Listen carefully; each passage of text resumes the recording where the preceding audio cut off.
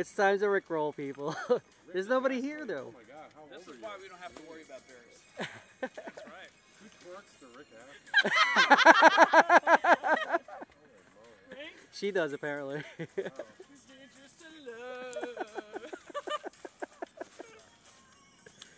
Don't do I? Oh, you made Todd poop. you made Todd poop. Oh, don't. You made Todd poop. All this means that Todd really gives a crap. You gonna-